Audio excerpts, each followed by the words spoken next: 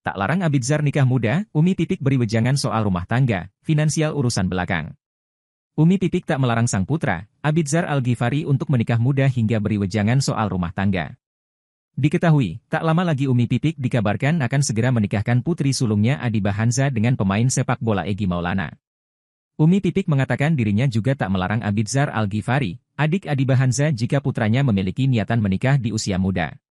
Maksud saya, Siapa pun anak saya, termasuk Abi juga kalau sudah menemukan pasangannya, yang gak usah lama-lama, segera menikah, kata Umi Pipik. Kan yang harus disegerakan itu sunnahnya itu satu menguburkan jenazah, dua pernikahan, sambungnya. Kendati tak melarang Abidzar menikah muda, Umi Pipik mengharuskan putranya matang secara mental terlebih dahulu. Kalau memang anak saya sudah matang, bukan dari finansial saja, tapi sifatnya, ya sudah. Saya sebagai orang tua satu-satunya, sebagai ibu dan sebagai ayah kalau anak saya entah itu Adiba, entah itu Abi saya harus menguatkan mentalnya terlebih dahulu, bebernya. Menurut wanita yang pernah membintangi film Haji Backpacker itu, finansial bukanlah urusan nomor satu dalam urusan pernikahan. Bukan siap finansial aja, finansial emah urusan belakangan.